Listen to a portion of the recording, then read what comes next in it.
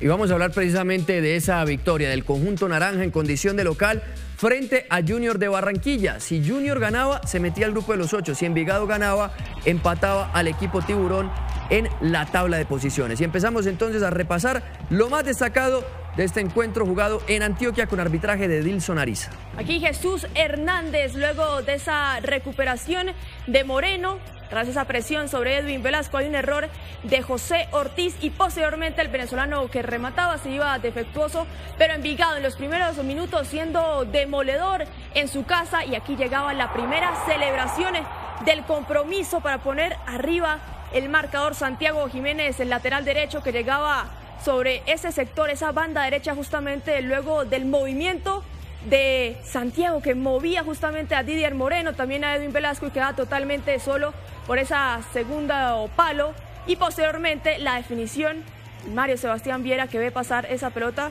justamente sobre el primer palo de él, del uruguayo. 1 por 0, Santiago Jiménez habría el marcado. Segundo gol como profesional para Jiménez. El otro también se lo había marcado a Junior de Barranquilla. Aquí la tuvo Carmelo Valencia, mano a mano con Felipe Parra y se impuso el arquero del conjunto Envigado el conjunto naranja que jugó con camiseta rosa estaba habilitado Tutunendo, pero no pudo definir bien y Parra le termina diciendo que no y todo seguía 1 a 0.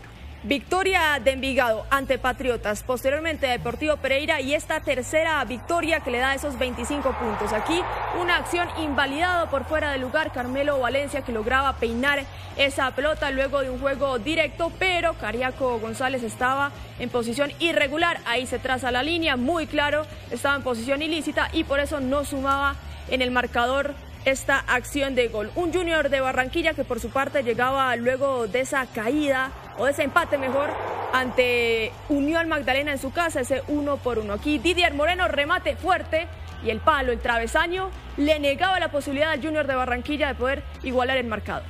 Nuevamente la iba a tener Envigado, la pared, pivot con Jesús Hernández y qué golazo el de Diego Moreno para el 2 a 0 definitivo.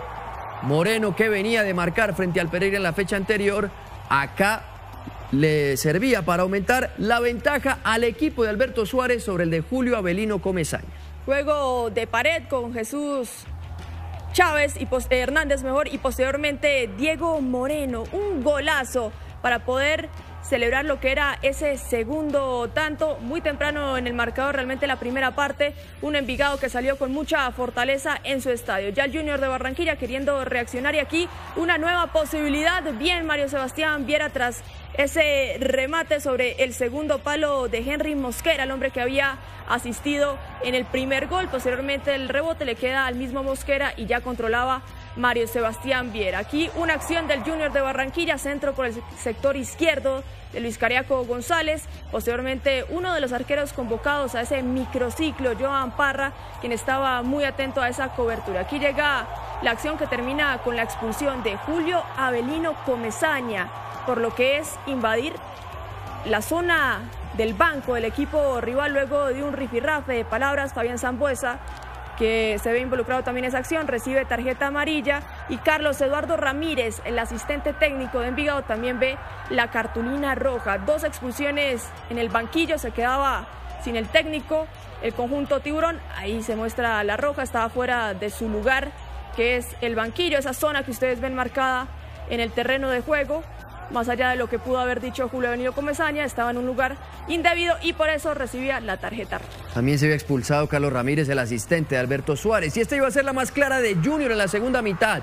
El remate de Cariaco González ante el resbalón de Santiago Noreña y Felipe Parra volvía a responder, hombre que también va para el microciclo de Néstor Lorenzo y en esta acción demostraba por qué lo llamaron. Pelota quieta de Fabián Zambuesa y posteriormente, en un principio, Ariza no se percata de lo que era la situación en el área, es llamado por el bar y ahí se ve como Juan Manuel Zapata tiene extendida su mano y por eso se iba a decretar penal, sanción desde los 12 pasos para que el Junior de Barranquilla tuviera esa posibilidad de descontar en el marcador. Al frente de la pelota, Carlos Vaca pega en el palo y después Fabián Zambuesa llega al rebote, pero también iba a haber una revisión porque Fabián Zambuesa estaba invadiendo el terreno de juego. Ahí está, se ve muy claro cómo está invadiendo la zona de las 16,50, así que esto queda inhabilitado y no sumaba en el marcador esta acción de gol. Carlos Vaca, que ya había fallado un penal vistiendo la camiseta del Junior de Barranquilla, en esta nueva era lo había hecho por Copa ante Unión Magdalena. Y acá iba a llegar lo que parecía el descuento de Junior de Barranquilla. En principio se marcaba el gol como válido de Carlos Vaca y el partido se iba a poner 2 a 1, le ganaba allí a Juan Manuel Zapata, pero acá en el bar se va a ver la repetición que termina marcando el gol con el brazo. Vaca le pega primero en el muslo la pelota, después en el brazo y con esa parte termina convirtiendo. El reglamento está claro, no se puede convertir gol con la mano y por eso Edilson Ariza después de recurrir a la tecnología termina anulando la acción. Al final con este resultado el Junior es décimo con 25 unidades, las mismas que tiene Envigado en la undécima posición. Aquí la última acción del número 10 de Cariaco González, un remate luego de ese pase ah, de atrás de Fabián Zambuesa y llegaba esa última acción de gol. Al final fue victoria de Envigado en su casa 2 a 0 ante Junior.